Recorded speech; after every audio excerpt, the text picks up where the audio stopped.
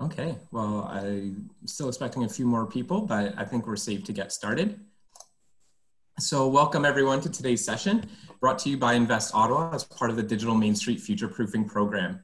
Digital Main Street is cost-free and made possible by the generous support of the Government of Canada and FedDev Ontario through the Regional Relief and Recovery Fund. My name is Kyle and I am the DMS Program Coordinator with Invest Ottawa. In today's session, we will learn about the future of retail in Canada, hosted by Craig Patterson, who is here on the screen with me, uh, he is a founder and editor in chief of Canada's most read online retail industry news publication, Retail Insider. He is also the direct, a director at the University of Alberta School of Retailing, as well as a research consultant at the Retail Council of Canada. If you have any questions throughout the session, please use the Q&A function and we'll answer them throughout the session and feel free to engage with us in the chat as I mentioned earlier. And we will also send a follow-up email with information on how to get involved in our free DMS programming, such as Shop Here, where you can get an e-commerce store built for you, uh, or future proofing, where you can get access to a digital transformation squad that can help you with your, uh, your business's digital marketing needs. So that's enough about me. Um, so thank you for joining us today. And here is our guest speaker, Craig Patterson. Thank Hello, you. everyone.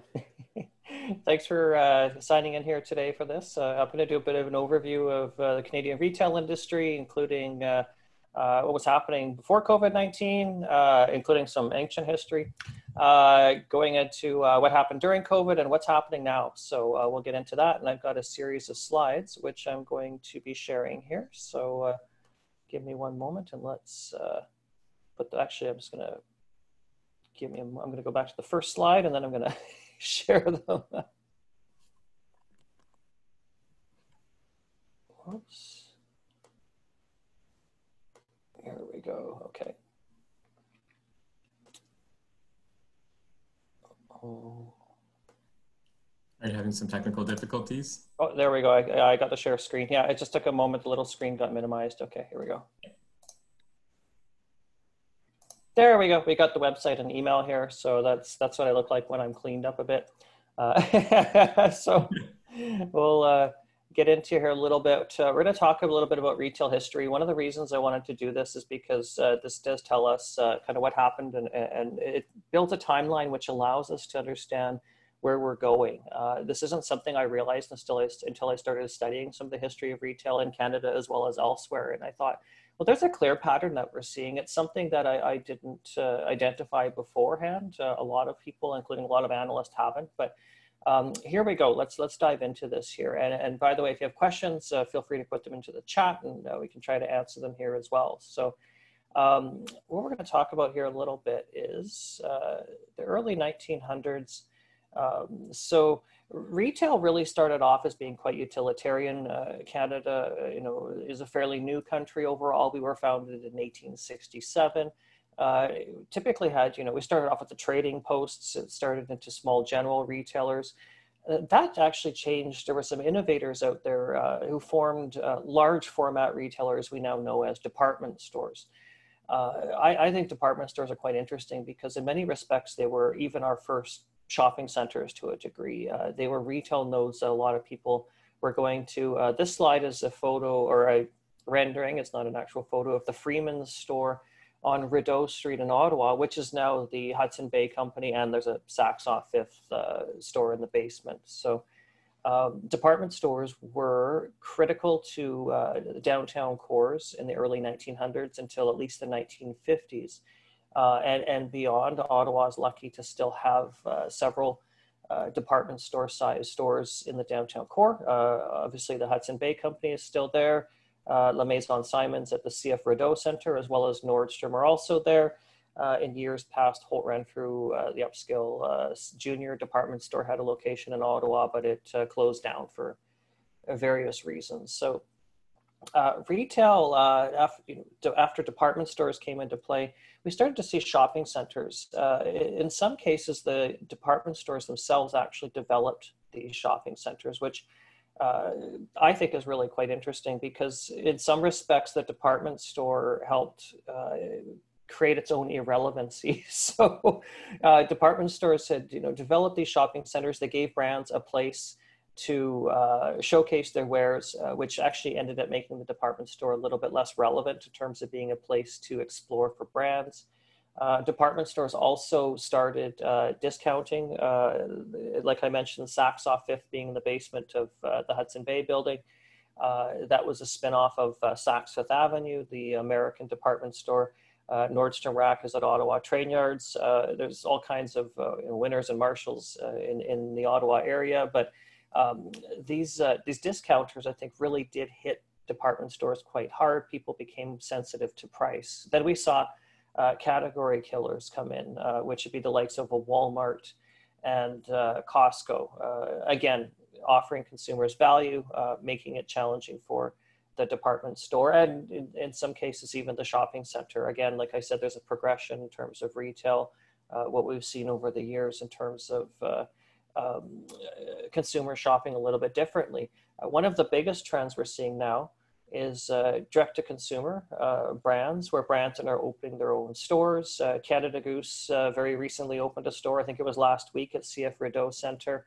Uh, this is an example of a brand which you would have only found in a multi brand retailer like a Nordstrom or a Harry Rosen before, but now you can actually shop in that store. So uh, that again has been a trend. It's also led to challenges for department stores because uh, they are no longer, again, the place to get these brands. So uh, it's been a really interesting progression. And then, of course, uh, one of the biggest disruptors in retail, uh, which has been uh, primarily in the last 20 years and is growing very quickly over the last few years and very recently as well, is online shopping. So the world is blurring the lines of physical retail and uh, online shopping. Uh, you throw social media in there as well, which uh, we're able to shop on and we'll be able to more so in the future. And uh, the world of retail, as well as the world generally, is changing. And uh, one thing, of course, I'll point out is that being a consumer society, I think uh, retail is very much a part of our lives. it's the largest employer, private sector employer in the country uh, and is an economic generator. Uh, millions of jobs are either directly in the retail industry in Canada or support the retail industry from brokers to construction, cleaning companies, whatever you can think of that would be uh, uh serving retailers. We'll go into uh, a bit more recent history, 2008 and 2009. Uh, we had a recession, which hit a lot of people, but uh, subsequently, we ended up in a really interesting boom period, which is not something that uh, many people had expected. Uh, with downturns, uh, some analysts think that things will go on for a long time or forever. Uh, it usually isn't the case. Hopefully, that's going to be the case again with COVID when we kind of get out of this, whatever that's going to be, however that's going to be. But we did see a boom. So um, that boom resulted in uh, an unprecedented uh, growth, certainly in our lifetimes of retail in Canada. So uh, we saw retailers like Nordstrom come into Canada. The first store was in Calgary. The second one was in Ottawa at the CF Rideau Center.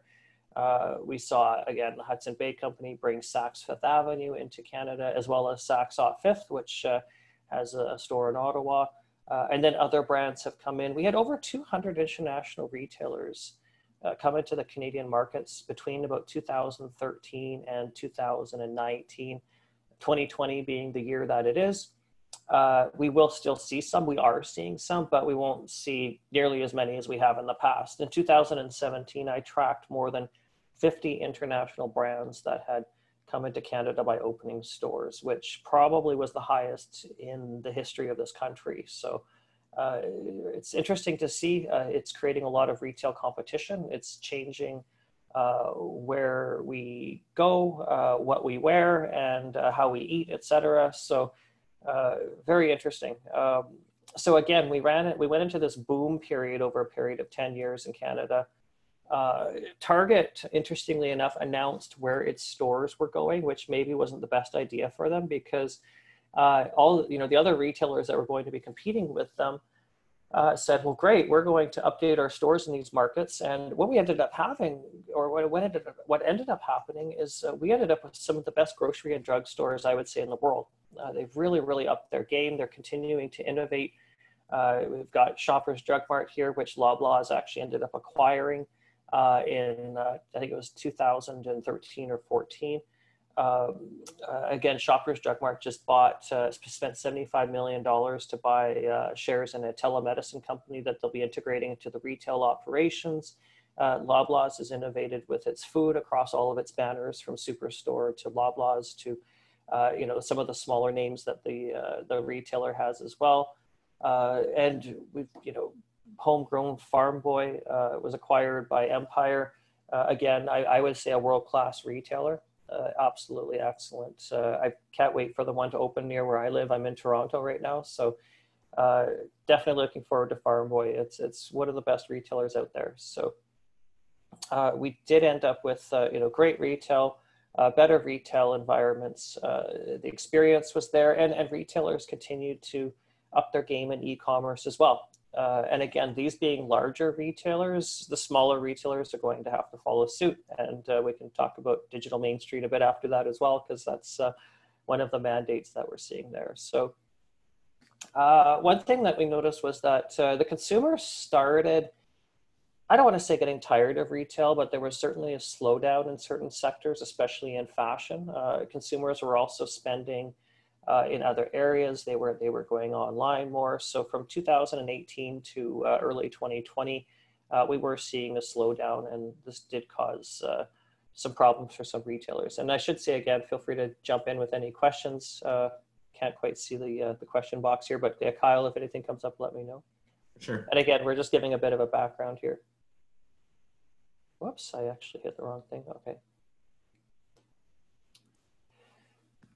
So like I said, consumers started to get, and I don't want to say bored, but certainly distracted. Uh, things that were creating excitement uh, may have been around, uh, say, social media like Instagram or TikTok. Uh, people were going out to restaurants more. Uh, people were spending more on uh, other things, including, say, technology. my iPhone cost way more money than it should have.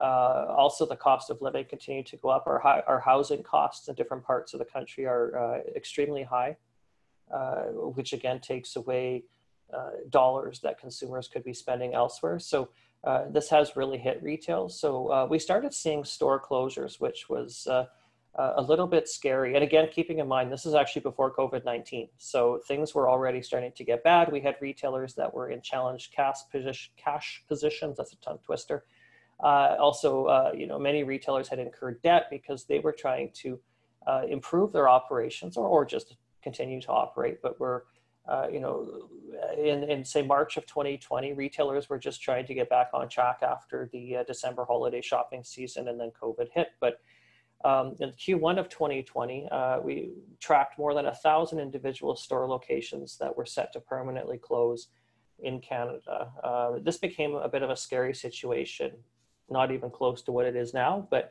uh, it was very, very concerning because again, we had nothing impacting this other than a change in the consumer, uh, which was financial as well as social. So uh, that, you know, I wrote an article on that. It got lots of readers, uh, but nothing close to what was going to hit next. So uh, COVID-19 hit us uh, not at a good time in the retail industry. Like I said, we had store closures in March uh, some were mandated by government, some were voluntary, some retailers such the, that were deemed to be, um, uh, you know, uh, essential, or uh, you know, grocery stores and drugstores and whatnot were able to stay open. But we saw a lot of other retailers closing, including food service, uh, like restaurants, which uh, has just really, really impacted that industry as well. Uh, so we saw a retail shutdown uh, over it, it, depending on parts of the country for over two months. Uh, here in Ontario, we had it more so than some parts of the country, especially the Maritimes and uh, British Columbia. Uh, that shutdown really, really hit retail in Canada. I'm just going to check my uh, next slide here because uh, consumers uh, are afraid to go out. this is still the case for, for some, especially those who are immune compromised or a bit older. we've had restaurants that have closed down as people are eating at home more. Uh, that was certainly uh, during the time that people were staying at home, uh, as well as now. Uh, some are forecasting that over 50% of our restaurants uh, in Canada will be closed by uh, before December of this year, unfortunately. And that that you know is is not a good statistic. I think that some of our favorite places we may not be able to eat at anymore, and, and that's really too bad. Um, we saw job losses, which were catastrophic. Uh, millions of people were, were laid off temporarily. Some won't have jobs to go back to. Uh, we saw stock market declines. The stock market is still going crazy today, uh, not in a good way. Uh, we saw oil prices uh, going down as well, which again affected the wealth of Canadians as well as the overall consumer uh, perception of what was happening and whether or not they should be spending. And again, a happy, comfortable consumer is going to spend more than a consumer that's worried, unless the worry is so great and they think they're going to die, they're going to splurge. But that's not where we're at, hopefully, at this time uh, in Canada. Um, some of the things that have certainly impacted retailers uh, have been uh, rents, uh, which can be astronomical in some retail spaces depending where you are. Uh, it's a huge expense for retailers that have a physical location, which is one of the reasons why some have been looking to get online primarily, or certainly to uh, have a major online presence. Um, and unfortunately, it was a situation. I don't think that things were quite done the way that they should have been, but there was rent relief that was offered, but it was done through Canada Mortgage and Housing. What that ended up doing was uh, creating a situation where the landlords had to apply for the rent relief for the tenants. Uh, that didn't work so well. So only you know a minority of businesses that would have qualified for rent relief uh, got it, and that rent relief essentially would be the retailer paying 25% of the rent, uh, government paying 50%, and landlord taking a 25% hit basically in terms of that. So I guess some landlords didn't want to take that hit, but uh, at the same time, they may not have tenants in their space for a very long time if uh, the business that was there went under. So I'm probably jumping a little bit here, but uh, um, what we've seen again with COVID is uh, a situation where uh, things are starting to progress. Uh, we're seeing retailers doing things that they would not have done if not for COVID 19 at this time. So, um, because some stores had to close and because people were sheepish to go out and do things in a physical nature in terms of, say, going to uh, stores or restaurants, we saw an incredibly rapid growth in such things as click and collect, uh, curbside pickup, uh, contactless transactions. Uh, what we're seeing now is we're actually seeing retail moving into the future much faster than I think we would have uh, already, which which I, I, think is really really fascinating. So, in other words, because we're a consumer society and because we're seeing such an incredible uh, acceleration of technology right now, uh, we will be in some respects, say by October, five years into the future in terms of the technology usage in retail that we would have been if COVID had not happened. So uh, I definitely wouldn't want to say COVID 19 was in any way a good thing uh, in terms of something that, uh, you know, would be desirable, but it, it certainly has moved us to, into the future from a technological perspective. Uh, which I think is quite remarkable. Uh, we're seeing an incredible growth in online shopping in Canada. It uh, it almost doubled in two months in terms of the number of Canadians that were shopping online. Um, now, this is, I think, going to be habit forming uh, because once someone does something for a certain period of time, and if it's a positive experience, which would include such things as convenience and price, uh, consumers are likely to stay shopping online. Um, I was not a big online shopper myself until COVID 19 hit. And I found that I'm quite comfortable buying all kinds of stuff online uh, that I wouldn't have before. Granted, if you need something super fast, like I need some pillows, I'm going to run to HomeSense, which is about a 90 second walk from where I am right now after this. But, uh, you know, typically I would buy that online. I, I just, uh, I've got a house guest coming and I want to do some furnishing. but, um, uh, you know, tech adoption in stores. Uh, what, what I think is really interesting again is uh, now we've got these tech companies out there that are saying, well, what can we do to innovate? What can we do to make this more interesting and exciting and safer and, and you know, whatever else retailers and consumers are looking at. So uh, now we've got companies out there that are really looking to uh, solve problems. In the uh, photo I've got here, we've got a situation where this woman is virtually trying on an outfit. Um, we've got companies actually developing this technology for the home, so she may not even have to go into a physical store, but nevertheless, she's there and uh, she's looking in a mirror and seeing what that uh, top or blouse, whatever you would call it, and that skirt would look like on her if she was actually wearing it. So uh, this is something I think will be more commonplace in retailers uh, to come in probably the next year or two uh, as, as, retailers invest in these technologies. And again, some of these are a bit expensive, so you're not going to see your local mom and pop store, uh, you know, becoming like something you'd see in say South Korea in terms of technological innovation uh, in the future. Um, one thing as well certainly is um, we are going to, at least in the short term, have quite a few vacancies on our streets as well as in our shopping centers and elsewhere. So uh, you'll be going, you know, down Rideau Street. There'll be some vacancies. Uh, um, your local shopping center, some of the retailers that may have been at, say, Bayshore will not uh, be there or may have already closed. Uh, even the big box centers, and in some case, outlet. Um, we've seen again in, in, physical retail spaces sanitization. Uh, other things that I've certainly noticed have uh, been uh, foot traffic right now in shopping centers is down uh, in closed shopping centers, anyways, compared to, to what it was before this. Downtowns are struggling, so the foot traffic at the CF Rideau Center is uh, a fraction of what it was, say, um, in January and February of this year.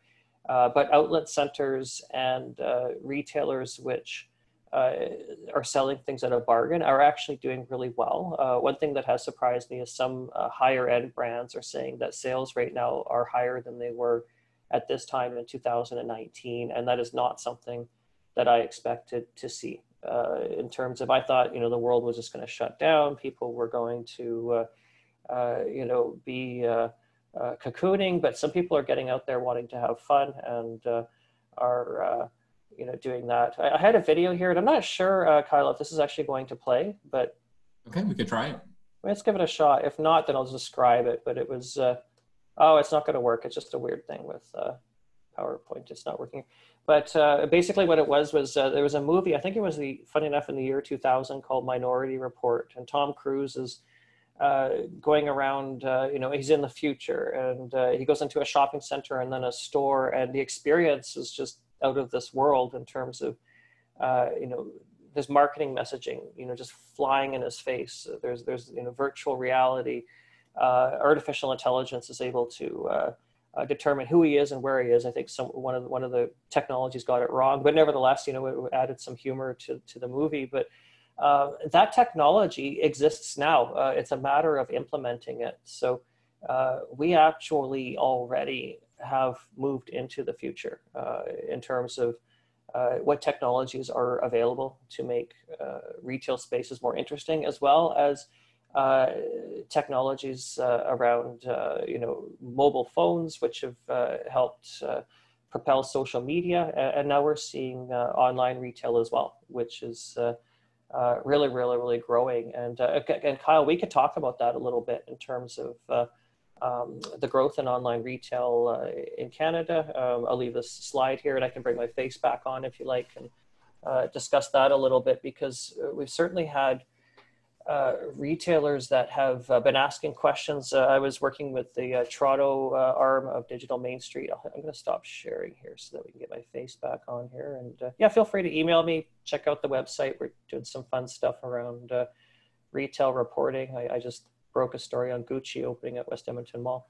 So, but uh, yes, thank you for that. And uh, um, now, uh, you know, as we move into the future, uh, Digital Main Street is helping, uh, like you said, Kyle, uh, with a partnership with Shopify, Google, other partners to to get retailers online, which which I think is going to be really, really critical because, again, some consumers are not comfortable going into retail spaces, but also some are just preferring to shop online. Um, I love to have a situation where rather than taking my chance and going to a store and not having product available, if I can go onto a website and see that, oh, this is there and I can buy it, uh, maybe I'll still go to the store and pick it up perhaps if it's near me and it's convenient. But uh, I, I still, you know, like to be able to have that. And, and I, I, you know, I've been burnt too many times being a fairly busy person uh, you know, going to my local store and not having something there. So I, think that, you know, having an online experience is very critical.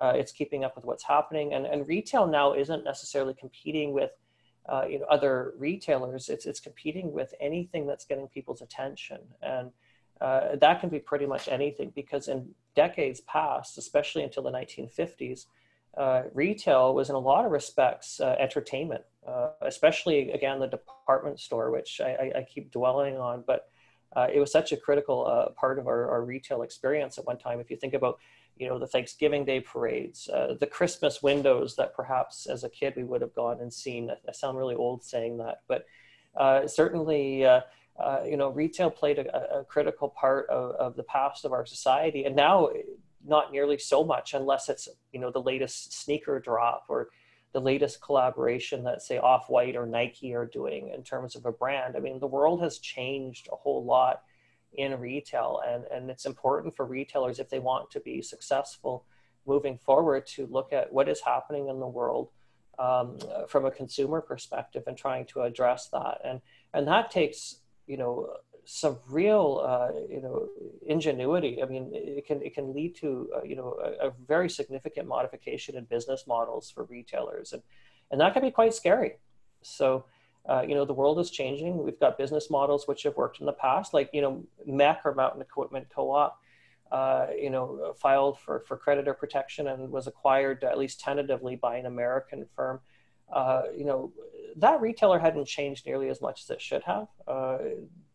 That's just one of many, many examples of retailers which, uh, you know, kept to doing things the way that they were doing them before. But because the consumer has changed so fast and so rapidly, they're going to uh, have to do that again. And now with COVID 19, as I said, with this acceleration in terms of uh, uh, technology, technology, uh, technology usage and social media, uh, again, we're going to see this really rapid progression in the way that the consumer behaves and what they're looking for. And if it's kind of scary if, if businesses don't address that uh, they could be doomed to fail.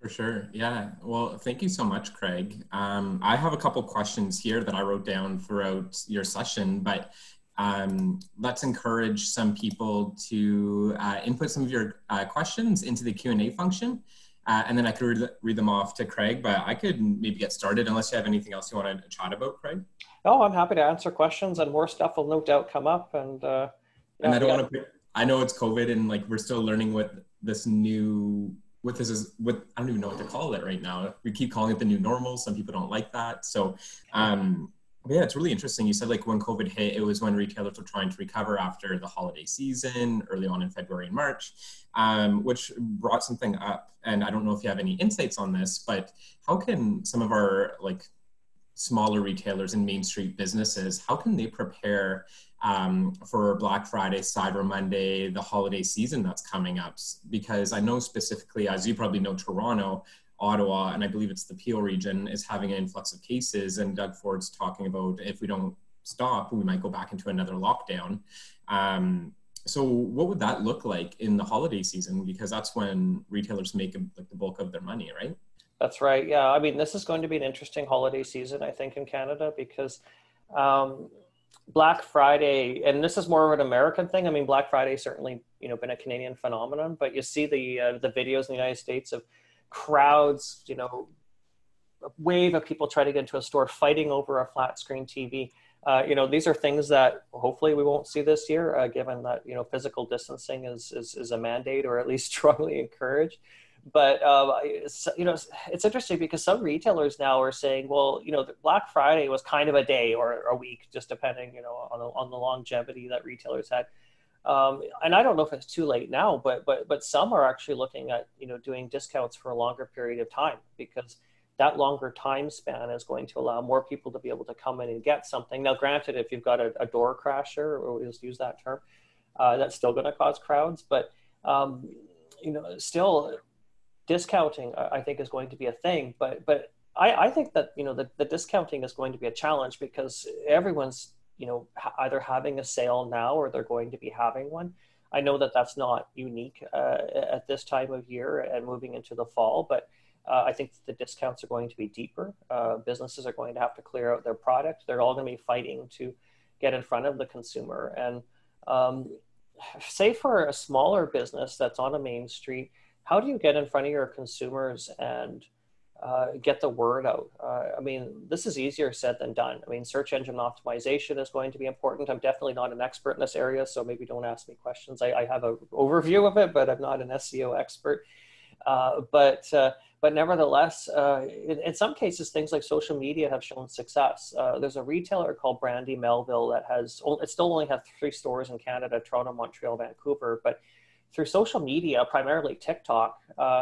Um, influencers have been talking about and wearing the clothing. And I would say probably every single day that that store has been open since June in Toronto, Montreal, and Vancouver, there have been long lineups. And the lineups were so long in Vancouver that the Vancouver Police Department was actually talking to the BIA to look at crowd control options because. Uh, which is, I think, a good problem to have for a retailer, especially at this time. And and it's not even luxury goods. So, um, you know, certainly having that online presence is there, but but getting consumers to that online site as well as getting them into say a retail store uh, while remaining you know keeping a respectful distance you know not having too many crowds uh, is going to be important as well. But but this is going to be challenging. So if, if retailers were smart enough to have had uh, a client base in terms of say emails or contact information before this this is an opportunity to be able to reach out to the clients and, and, create something special, which I think is going to be important. And one of the reasons that in, as particularly in Toronto and Vancouver, why some luxury brands are seeing very high sales right now is because they're reaching out to their base of customers uh, whose contact information that they already had. And they're saying, well, we have this latest bag from Balenciaga or Miu Miu or Fendi, and people are snapping them up and buying them. It's incredible. And so they're not necessarily going into the store. Some are, but uh, even though foot traffic is down, sales in some categories are up because they're selling direct to the consumer through online, whether or not it's WhatsApp or WeChat or just even text messaging. Great. Um, I see a few questions coming in here. Um, so Rebecca put in the chat uh, that she read an article today about a shortage of outdoor heaters as the weather gets cooler and high demand for outdoor living products like hiking shoes, activewear, etc. So do you see any categories within the retail sector that will thrive in the coming months? Yes, I mean, you just identified some of them here.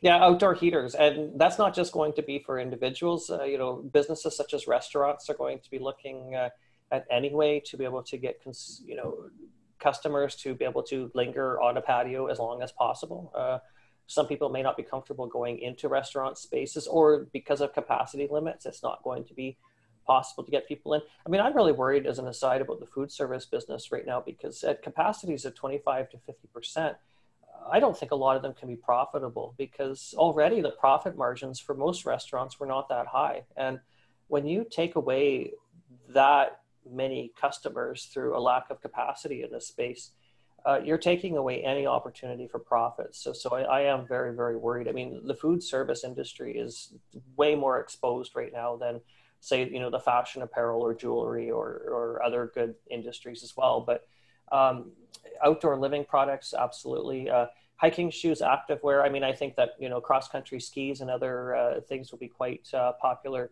into the fall here. Um, you know certainly some of your more typical categories including uh, uh, you know outdoor fashions are, are going to be uh, popular. But again, you know, that's for, for outdoor living. We may see actually an increase in that as well. Um, ha- I mean, Halloween, uh, we'll see. I don't know. I've heard some kids are still maybe going to be trick or treating. Uh, I'm not sure if all parent, well, a lot of parents are probably going to discourage that. So that's going to be interesting. But Halloween Alley, uh, this blows me away. I mean, they've leased uh, hundreds of spaces around the country and are selling costumes and other Halloween related things which uh, I don't know what you call them products, I guess, but uh, uh, yeah, there are still certainly categories out there. I mean, obviously, food and pharmacy are going to be big. We're probably going to, well, we are starting to see a second wave already for COVID 19. Um, Sylvain Charlebois from uh, Dalhousie University was saying, uh, chatting with him earlier, uh, he doesn't think there's going to be uh, the same panic. Uh, toilet paper may not be missing from all the shelves like they were in March and April. That was a bit of a nightmare. but you know those categories will still i think be high selling but i think we have the supply chain in place as well as the product availability. And i don't think consumers are going to be panicking nearly as much. The first time you know we, we were like almost like being born or you know like a fish out of water situation. We're like oh my god what do we do? I've never been in this situation.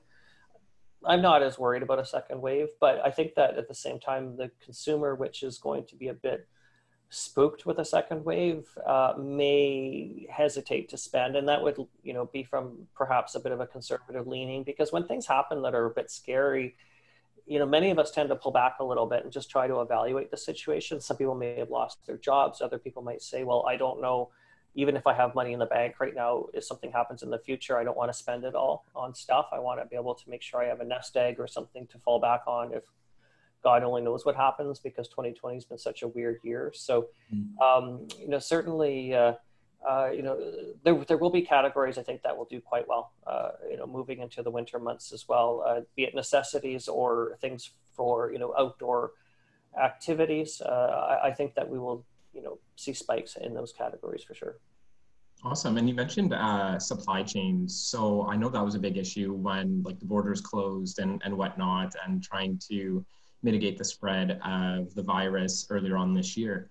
I know personally, I went to a bike shop two weeks ago trying to find a bike, and some models aren't going to be ready until November, some until January, some until even next, next year in March. Wow. Um, needless to say, I didn't buy one. um, but if we're having these kind of supply chain issues, uh, if we're looking at more winter related um, goods that might be in high demand. Do you see the supply chain like loosening up a little bit and flowing a little bit better, or do you have any insight on that? It depends. I mean, in terms of um, say the actual delivery side of things, it's a lot more under control than it was. Mm-hmm. Uh, one of the biggest real estate growth sectors and opportunities is industrial in terms of storage. Uh, Amazon is building. I mean, I just use the A word. Amazon is building, you know, more and more warehouses. Um, they're looking at starting to do, you know, smaller fulfillment centers, uh, as well as certainly other retailers. Uh, uh, so from a delivery standpoint, we're starting to get things in order. I know that Canada Post had delays, even Amazon had delays. Uh, uh, Walmart, uh, you know, we had grocery delivery. It got really, really challenging, but uh, from a product standpoint, yeah, I mean, I think that we've got an increased production of things like toilet paper, but obviously things like bicycles, uh, uh, this has been more of a challenge in terms of getting that product. So we may see some categories uh, that are still uh, going to have product shortages out there. But I, I, think in terms of the necessities, you know, the, the kind of the food, clothing, shelter, if you want to call it that, um, I think we've got that more under control from from a supply as well as from a, a uh, logistics standpoint. But uh, for you know certain things, I mean, I don't know. Then the next hottest video game, I mean, that will be also be I think a growth uh, sector. Uh, you know, there may be a maybe a shortage there, but that's going to be specific to that particular product, I would say. Great. And then last question from me, and then we'll hop into a few more uh, audience questions.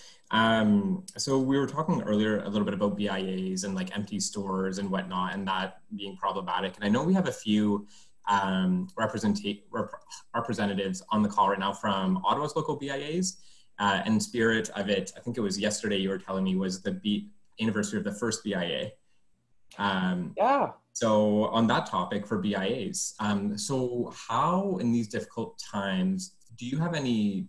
Are you seeing any trends? Or any opportunities for our local BIAs to kind of use those free spaces? That's a good question. And I'm just pausing here because I have so many thoughts, and most of them probably would never come to fruition because. Because you know BIAs can do certain things. It's like now I want to ask the attendees questions about BIAs because I'm super curious. Um, you know, I, I, I live in a neighborhood that is bounded by a BIA called Bloor Yorkville, and I, I have all in Toronto. I, I, have all of these ideas. So BIA's, uh, what's it, 17th today? So yesterday was the 50th anniversary of the founding of the first BIA in the world, which was Bloor West Village in Toronto.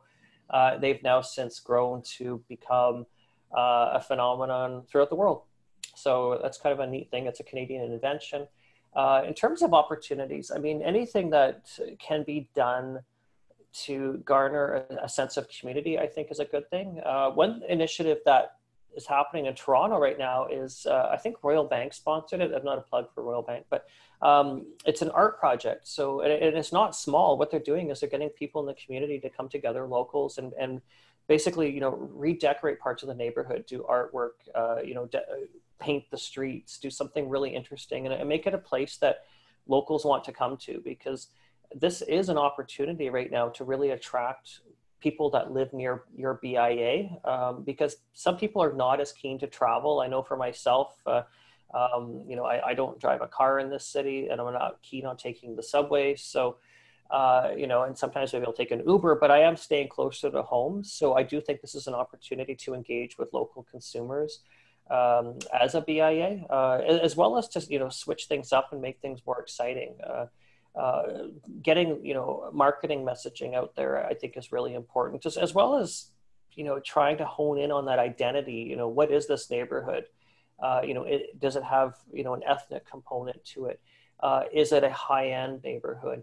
Uh, does it have something else special about it? And um, you know at the same time I, I wonder what can be done. I mean I, I look at my own local bia i don't want to bash them in any way but i see so many more opportunities that could be there. But um, you know, I actually applied in 2013 or tw- I think it's 2013 to be an executive director of a BIA in Vancouver um, on a very well-known street. I didn't get the job, which is probably a good thing because, uh, well, they didn't like me because I had all these grand ideas. I said, we're going to replace the sidewalks. We're going to do this. We're going to hold events. And they're like, no, no, no, we're, we're, this is going to cost too much money and it's going to be disruptive. But um, one thing I think that BIAs need to do, uh, or at least neighborhoods, uh, however that's done, is uh, obviously we've seen the rise in the shopping center and we've seen big box centers and outlet centers. And, and really, over the years, our downtowns and our neighborhoods have suffered as a result. Uh, we don't have the downtowns or the local retailer that we would have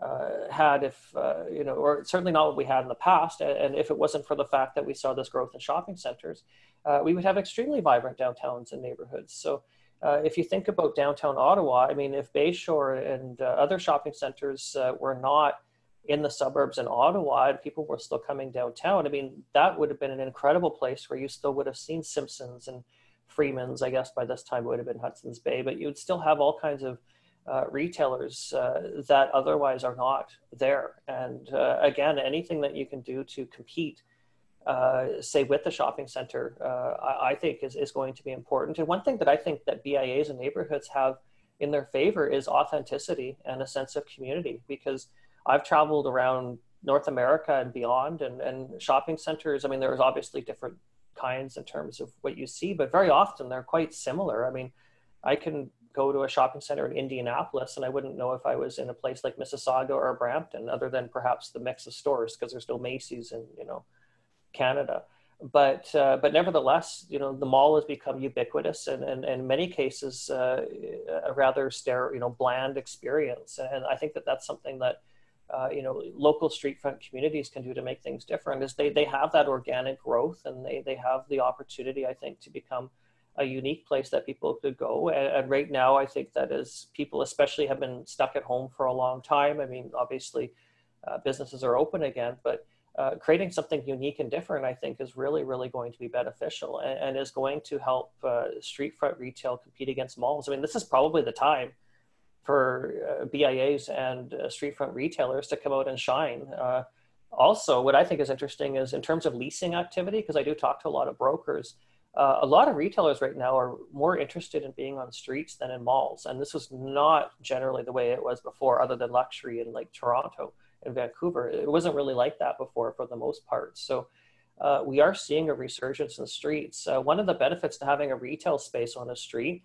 is being able to fulfill from the store 24 7 because if you're in a mall, you've got mall hours, you can't fulfill orders. I mean, you could be doing deliveries in the middle of the night, maybe maybe not, you know, for sleep purposes, but you, you have that option with the street front retail space. So, so there's some benefits there. But um, in terms of the vacant spaces, I mean, I always thought that a BIA would, should have a temporary office. I mean, you could do pop-ups. I mean, look, you don't want your, your neighborhood becoming a pop-up center. This happened in New York City a few years ago when it became a little bit overkill because so many uh, retailers were leaving because the rents were astronomical because it was New York City but uh, you know, I think certainly we'll see more innovation in spaces, temporary retail. Uh, we are seeing retailers actually seeing some bargains and actually signing leases right now to go into spaces. So, uh, you know, and then even perhaps animating some of the windows. I mean, not all spaces are going to be filled. We're going to have, you know, 20, 30, 40% vacancies on some streets. And there's one company out of Regina, I forget the name of it, but they do uh, interactive uh, video screens on vacant retail spaces. I, have seen some in Vancouver when I was visiting there, and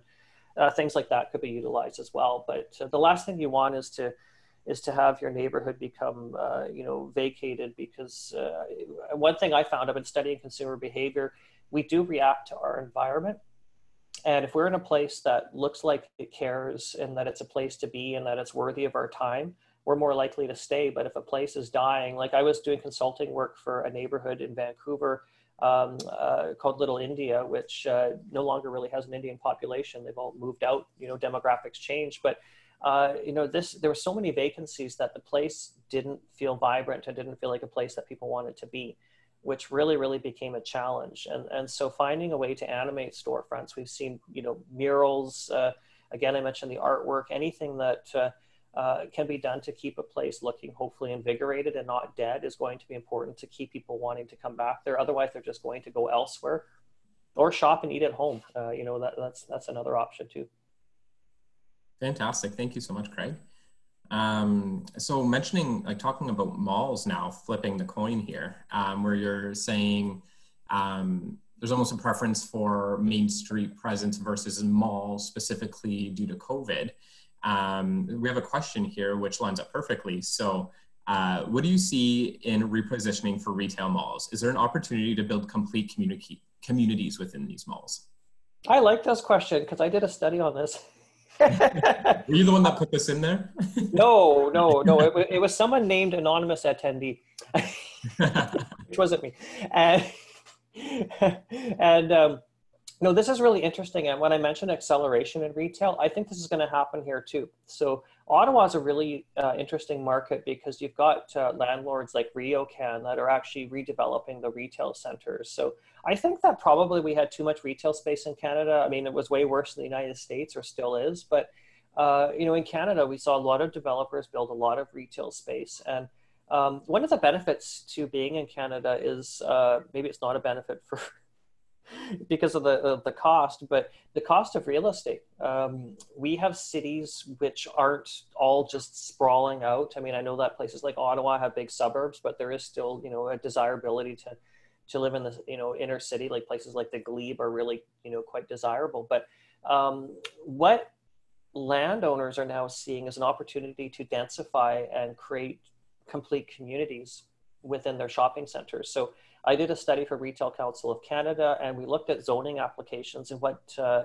shopping center owners were looking at doing with their properties and uh, what we found was uh, that they were looking to I'll put it simply, they're looking to make money off of their property. So, uh, you know, you can make money by leasing retail space to retailers, and that makes a certain number of dollars per year. But if you start doing things like putting housing, so if you put, you know, on the edge of a shopping center property, condominium buildings, which will create uh, you know, money by the sale of those units or rental apartments will, which will create a continuous revenue stream for that landlord that owns that building. It also adds some customers to your property who live literally on site. Um, I think that COVID is going to speed this up. So already we were seeing quite a few shopping centers that were going to be redeveloped, uh, small and large, around the country. I think we're going to see more of that faster. Um, even Toronto's Yorkdale Shopping Center, which was the most productive per square foot in Canada last year, uh, when we did a study on that, uh, they're looking at creating a new city center. Um, what I, so what I think is interesting is the real estate, the, shopping center developers to a degree are actually going to impact the future of our cities. Uh, they're you know looking to add housing and other uses. They're going to be creating little town centers and and so I mean that's an incredible amount of power to have, and we will be seeing that more. I mean the next couple of decades I think are going to be really really interesting in terms of uh, real estate development because some of it will be taking place on shopping center properties and. Uh, and these landlords in partnership with other developers are going to be reshaping the face of our cities. So uh, I know absolutely. I mean, we'll be seeing this more and more. It's not going to happen tomorrow because it takes things like building applications and design and construction to actually build these things. But uh, no, absolutely. Um, I, I, think that say in 20 years, you go, you'll be driving by your local shopping center property that might have been a low slung mall, and now it's going to have taller buildings and all kinds of uses like offices, and maybe you'll have a park and a school. And this is actually, I think, interestingly enough, that was the vision of the inventor of the shopping center, Victor Gruen was the guy's name. Uh, he was from Austria. He moved to the United States. Uh, he developed uh, some shopping centers. I think the first one was Southdale uh, Shopping Center in Minneapolis or just outside of Minneapolis. I, have visited it a few times as a kid. Uh, and um, his vision was to have complete communities with, uh, you know, residences, retail, restaurants, uh, even parks and schools. And uh, the developers of the shopping centers really just went with the retail side. They saw the business model as being something to make money off of. And he was pretty angry at that because he was actually more of an urbanist, I think, than people realize. I mean, he was designing pedestrian malls for downtowns and cities like Kalamazoo, uh, Michigan. But uh, nevertheless, now his vision for the shopping center, I think, is going to be fulfilled in decades to come because these are actually going to become mixed use properties. And part of the reason for that is because of the value of the land and the shortage of land that uh, is close to desirable areas such as workplaces. Awesome. Um, we have a very interesting question here. Uh, I'm not overly familiar with uh, what Cornershop is. I just, have you ever heard of Cornershop? Yeah, yeah. Um, yes. I'm just having a look here. Uber's partnership with Cornershop for local stores. I've seen big retailers like H&M, Sephora, and Rexall. Um, it could happen. I mean, and uh, you don't just have to use Uber. I mean, I noticed that Uber is starting to do uh, deliveries with with all kinds of retailers. I mean, grocery, and it's funny enough because I was just on my Uber app. I think it was on like Sunday night or something when I should have been sleeping, and I was like, I was like, my God, I, I can order groceries through this. I can order, and I have not done Uber Eats, like where you order from a restaurant. Uh, I am not one of those innovators that's grabbing all the technology and doing stuff. I study it, but I don't necessarily do it, but I will. Uh, I mean, I'm already doing it because I'm old. Like I'm almost 44. I turn 44 next week, but uh, uh but nevertheless, uh, you know, yeah, these partnerships. Uh, this is huge. I mean, there's companies out there. There's one called Shipperbee. They're not in Ottawa yet, but they will be. I'm assuming at some point. and it's almost like an Uber type of uh, delivery system. Uh, but one thing about the consumer now is they, because of things like Amazon Prime, we expect things to be fast. Uh, you know, we expect to get it at home and we expect it to get it quickly, and we don't want to pay for it or we don't want to pay much for it. So, uh, I mean, the competition, it's a little scary actually. I mean, the, the competition is certainly there. Um, at some point, I think that local local retailers are going to have to find a way again through companies like like Shipperbee, you know, an expansion of Cornershop, uh, uh, you know, any any other platform that's out there, and there are some that are coming through that we haven't even you know, haven't been announced yet, or that wouldn't be common knowledge uh, uh to retailers. You know, the innovators are out there trying to solve this problem. So uh, I think I think we'll see you know more and more of this. Uh, you know, in, in times to come, in terms of you know getting something to people quickly. I mean, even groceries. I haven't tried Sobeys Voila yet, but uh, you can set it like a two-hour window and they'll deliver your groceries. And apparently, they're they're it's a pretty good service. We'll find out. I'll, I'll totally try it at some point, but I still like getting my groceries in person. Yeah, awesome. Um, there's a follow-up question here um, to uh, to the to the mall question that we were talking about earlier. Um, I feel like this isn't overly relevant. I can speak to it. I can yeah. speak to it. Yeah. So, uh, what about new long-term care homes or senior centers right inside shopping centers to replace some retail space? I don't know about re- replacing the retail space. I mean, if I was a senior, and I feel like I'm getting there, um, I'd love to. I'd love to live over a mall. I mean, um, one thing that we might see, and it really depends. Uh, you know, if some shopping centers see enough retailers leave. So I'll use an example. It's not unfortunately an Ottawa example, but in Edmonton, Alberta, uh, there's a shopping center called the Bonnie Doon Shopping Center. It's a bit of a weird name, but it's a historical name. And uh, what they're doing there is, um, you know, traditional, rather boring, sorry, but I mean, they, they agree, shopping center. It had a Target and a Sears store as the anchors. Uh, basically, what they're going to be doing over a couple of decades is basically imploding this mall and creating an entire neighborhood. And a big part of this neighborhood is going to be housing for seniors, which I think is interesting. And again, it speaks to that whole uh, complete community scenario. Uh, the north end of the new Bonnie Doon, I was going to say shopping center, but it may not be, will be uh, very much a health and wellness focused uh, place, uh, including, I think, a school uh, for health and wellness, which will be interesting. So, no, I, I, I, think for sure. I mean, for some of the malls that will have, say, mass vacancies, we may see, say, an entire wing of that mall uh, demolished. You wouldn't be able to put in probably supportive living in the shopping center uh, as it was with the real estate, just given you know how odd that would be for housing. You may not have exterior windows and whatnot, but the demolition of parts of the property could happen, and it's really, really case by case. I mean, what I what I'm hearing in terms of some businesses being interested in, in leasing in shopping centers, and it, you know, it could be for two years, but co-working spaces, like there are still different businesses out there that are looking at taking space in, in places such as shopping centers and utilizing it. But I, I think when you look longer term, uh, a lot of our uh, current shopping centers will be demolished. I, I, wouldn't say so much for the CF Rideau Center, maybe not in our lifetime, but you never know. But a, a place like Bayshore may have tall buildings around it and eventually may become a street grid in the, in the future. Fantastic. Well, it looks like that's everything for questions. Um, so before we wrap up, do you have anything else you'd like to add today, Craig?